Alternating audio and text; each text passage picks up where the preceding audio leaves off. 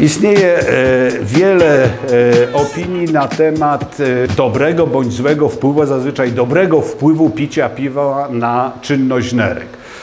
Myślę, że jest to mit, dlatego że z punktu widzenia fizjologii w zakresie diurezy to mamy diurezę wodną i osmotyczną. Diureza wodna jest spowodowana spożywaniem płynów, niekoniecznie, no zazwyczaj wody, ale niekoniecznie, bo, bo w oparciu o wodę jest e, produkowanych masę różnych e, substancji płynnych, w tym między innymi piwo.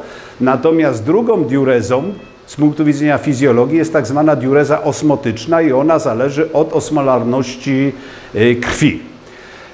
No tak się złożyło, że piwo wykazuje zarówno, ma wpływ zarówno na diurezę e, osmotyczną, jak i diurezę wodną. Diureza wodna oczywiście związana jest z ilością przyjętego płynu, natomiast diureza osmotyczna w przypadku alkohola, alkoholu e, związana jest z blokowaniem hormonu antydiuretycznego.